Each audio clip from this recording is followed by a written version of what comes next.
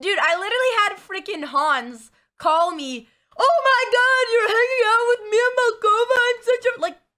I had a ton of friends from high school. I was like, you guys are old dirty whores. I didn't even know who Mia was when I first met her.